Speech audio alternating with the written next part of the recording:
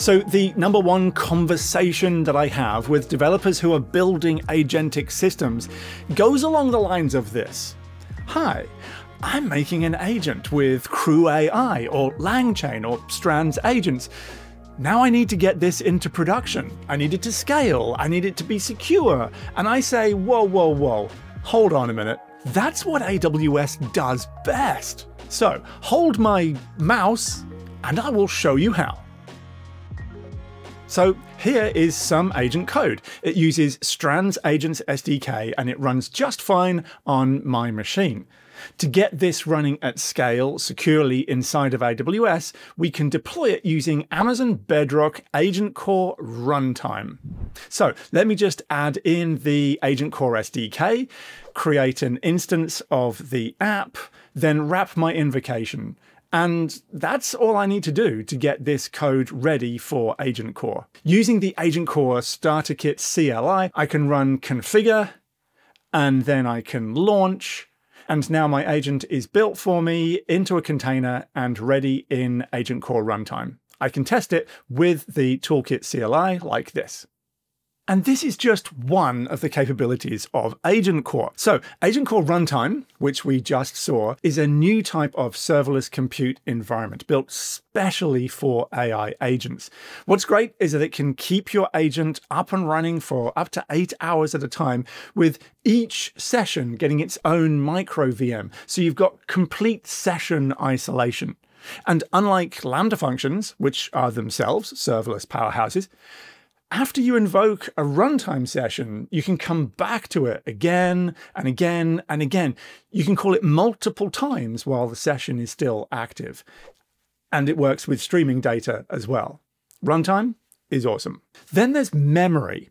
It handles your agent's session state, so think conversational history, and long term storage, so things like user preferences. Memory is fully managed customizable, and scales independently from your agent. So you can just bolt it in and go. Gateway lets you turn your existing APIs and Lambda functions into MCP tools that your agents can use, or someone else's agents can use. Then there's Code Interpreter for secure code execution and the browser tool for web interactions. Both of these, again, are fully managed cloud hosted services, so you don't need to build and manage and scale your own containers.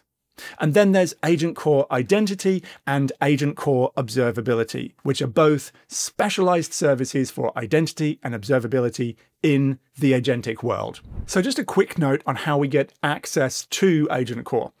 Just like other AWS services, there's a base API. So for Agent Core, this is split between a control plane API and a data plane API. So think of this as at configuration time and at runtime.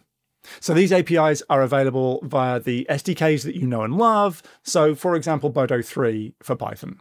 On top of this, there's a specialized Agent Core SDK. This is a Python SDK with more languages to follow that builds on the base API and provides some convenience methods and functions to make it quick and easy to integrate Agent Core into your code. So an example of this is in the runtime code that we deployed before. Um, we used this SDK to add a decorator to the invocation method. That was the SDK. And then finally, we have the starter toolkit, a CLI tool that we've been using to get started quickly. So it builds the containers, it helps us test our agents, it does things like that. So as you progress with Agent Core, you might depend less and less on the starter toolkit, but it's a great place to get started, and that's why we're using it today. All right, let's jump back into the code and see how we can update our agent to use Agent Core memory.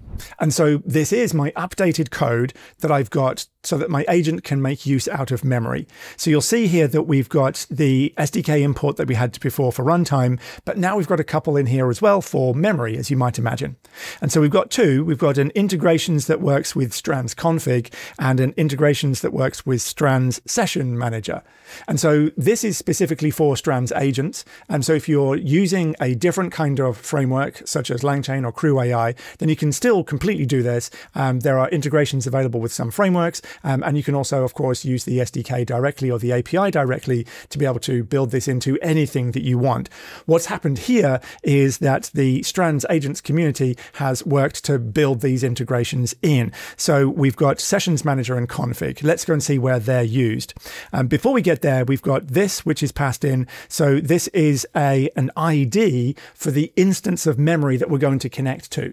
Now, for us in this particular case, that's going to be set up for us by the starter toolkit. So we'll have a look at that in just a moment. Um, so if we just scroll down here, I'm just going to skip over this for now, but I'll be back here in just a moment. Um, let's just go and have a look at the way that the agent's built up. So here's the agent code, very similar to what we had before, but now we've got this session manager here. And so the session manager is configured with the memory configuration there. So we've got the agent core um, memory session manager object configured with the memory configuration. So we're going to have a look at that. Um, well, here it is just up above here. Um, and there's a couple of things here that are going into the configuration so that the agent can connect to the right part of the memory which has been um, set up for this type of agent for this agent on my setup. And so those two things are the session ID and the actor ID. Of course, we have the memory ID itself so that we can connect to the right memory. Then we have session ID and actor ID. So this means that when we're connecting with memory, not only are we connecting to the right memory, I guess that's the memory ID, but we also connect to the memory which is to do with this particular user, that's the actor ID, and then this particular session, that's the session ID. Um, and that means then that we can get things like the short term memory from this session, but we can also get long term memories from this particular user across all sessions if that's what we wanted to do. And this is just a simple example of how to get set up with memory.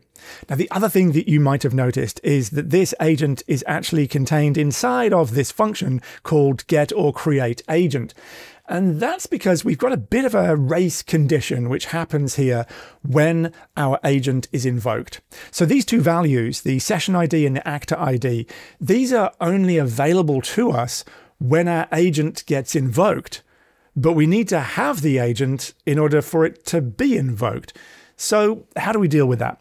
Well, if I scroll down to the invocation, the entry point that we've set up for Agent Core, what you'll notice is that it goes and runs, it goes and gets the agent from get or create agent, and we're doing some lazy loading here. So if this is the first time it's being called, then we look at our global agent variable. That's just one way to do it. Um, and if that doesn't exist, if it's none, then we go ahead and create that agent and then we return it. If we come back and we're invoking our agent again within our up to eight hours of runtime that's possible with Agent Core runtime, then if we're coming back again, we go and get the existing agent. So we don't have to make it again. We don't have to connect to memory again. All of those sort of uh, computationally expensive things we don't have to do again. So we're doing our lazy loading. And that's all we need to do. And then the rest of the invocation is pretty much just like we had before. So we're back on the command line now, and we're going to use the starter toolkit to configure our agent again and then launch our agent again. And this time we'll step through in a little bit more detail so that we can see what's going on and we can see where we actually set up memory. So I'm going to go ahead and enter on this and so what's happening here is that the starter toolkit is stepping us through all the necessary bits and pieces that we need to get the agent set up. So it will create a role for us. It will do all of the ECR configuration for us, where it's going to use code build to actually build up our container and then put it into ECR, which is a container repository for us. So that's all managed for us in the background by the starter toolkit. I do then need to select the dependency file. So this is our PyProject TOML file, or it could be a requirements.txt if that's how you're wor working. Um, and I just need to go and select the one from my deployment directory that I set up. So there it is. That's my PyProject TOML file. Um, then it's going to ask me about whether I want to set up some um, more sophisticated authentication using OAuth, which I don't for now, so I'm going to say no. Do I want to do any request header allow listing? I don't for now, so I'm going to say no. Um, and then it's going to move on to the memory configuration. So it's saying here that I do have an existing memory set up inside of my account. Um, so I have a couple of options. I can either use that memory or I can create a new memory or I can skip if I don't want to. And so the first time I launch this agent, I because I wasn't using memory. This time I'm going to press enter to create a new memory storage area for my agent. So let's press enter. And it says, do you want to enable long-term memory extraction? So yes, yes, I do.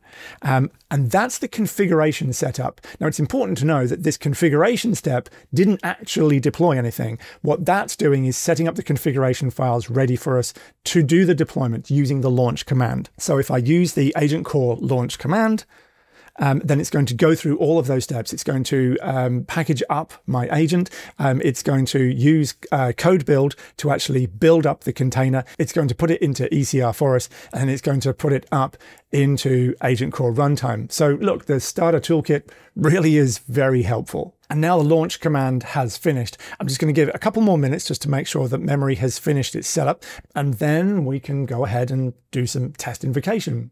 So as we saw briefly before, we can use the starter toolkit to invoke our agent from our laptops, even though this is running up in the cloud. So I can just send this invoke command. I'm just going to say hello to the agent and see how it responds to us.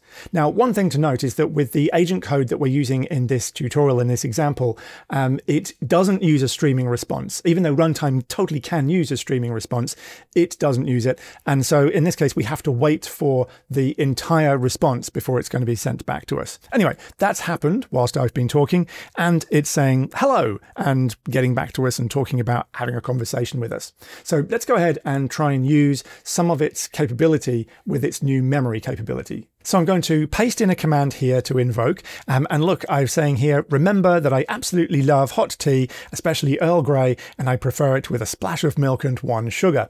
I'm also sending in a specific session ID. I do that so I can just be in control of it here as I'm invoking it from my command line. And I also send in an actor ID as well, just for now of user123.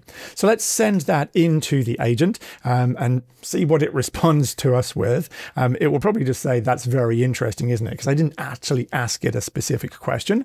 Um, so it says, yeah, I'll remember that you absolutely love hot tea, particularly Earl Grey. And then it talks some more about my preference of tea. Okay, so I've waited 20 or 30 seconds because it takes just a little bit of time for a long term memory to be sort of realized and persisted. So now I'm going to come back and I'm going to talk to my agent again. So let me just paste in another command here. Now, this time I'm saying, what kind of hot drinks do I like and how do I prefer them to be prepared? Now, in this case, I'm sending in a session ID again, but notice at the end here, rather than hyphen A, which is what we had before, I've now got hyphen B. That means that I'm going to be talking to this agent in a different session. So this is a different um, container micro VM which is being spun up for me, a different runtime environment, a different session. But I've got the same actor ID coming in. So I want to see here that my agent has retained this long-term memory. And in effect, this could be me coming back to the agent the next day or the day after or in a couple of weeks time. So let's just hit enter on that and see what happens. And the agent comes back with, yeah, based on our previous conversations, you've shared that you absolutely love hot tea, with Earl Grey being a particular favorite. So there we go. The memory has remembered my user preference. And in this case, it's my preference for tea. Integrating Code Interpreter is easy as well. Um, we could, for example, switch out the calculator tool that we've been using for Code Interpreter and then update the agent. And now our agent has access to a secure code execution environment. Finally, Sometimes we just need to see what's going on inside of our agent. If you've got Docker running on your machine, then you can use the Starter Toolkit to build and run your Agent Core runtime container on your own machine. When your agent's deployed, you can use the starter toolkit again, and it gives you the command you need to tail the logs out of CloudWatch. And when you want more detail and more detailed analysis of specifically the agentic loop and the performance of your agent, then there's a URL to get to the observability dashboard for your agent. Lots of information in there. So there you have it. We've taken an agent from running locally on my machine to being production ready in just a few minutes with memory and code interpreter and observability. Of course, there's so much more. Agent Core gives you a complete platform for building enterprise grade agentic applications. All of the code from this video is available in a blog post over on the AWS Builder Center. The link is in the description below, of course, and the post includes a lot more detail on all of the steps that I took and exactly what you need to get started. And if you use Crew AI or LangChain or Llama Index, well, maybe give Strands agents a go. But if you do use those frameworks, then I'll add some links in the description to posts on getting started on those frameworks with Agent Core as well. The best part of all of this is you can just use the capabilities of Agent Core that make sense for your existing or new project. So bolt in some memory or add that code interpreter scale the code with runtime. Use whatever framework you want, use whatever LLM you want. You do you and do it on Agent Core. And then let me know what you're doing. Pop in the comments below. If you've got any questions, then don't hesitate to reach out. You can find out how to get in touch with me in the description below.